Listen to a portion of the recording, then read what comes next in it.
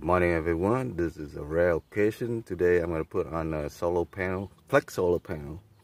So I'm going to show you step by step how everything put together. These are the stuff you're going to need. The clear tape and I don't know what this one called, but I will post a link to that.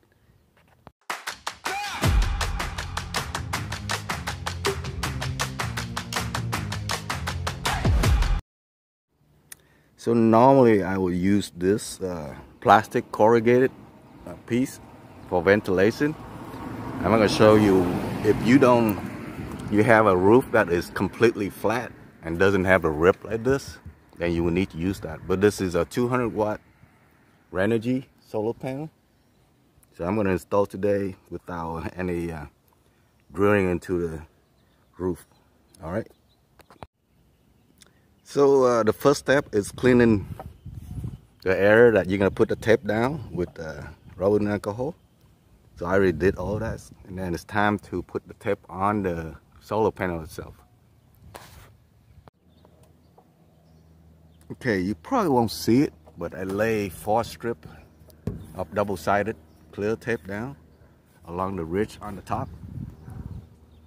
And then we're gonna put the solar panel on and then peel these. I leave the top uh, see there's a little uh, plastic piece on it. I leave it on and I will pull it out as I go okay so if you peel the tape kind of sideways and then peel it slowly out as you go and then press down and you're done all four pieces do it that way you lay them down with the cover on before you pull it out. And then you're to tape them out. Yeah, just press them down. The next step, we're to put the EternaBond on the, on the edge right here. All right. Okay, here's the final product.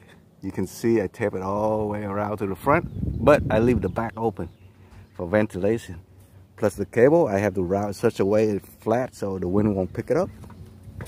And then coming down to the side, down, down, down, and loop up uh, to here, go in.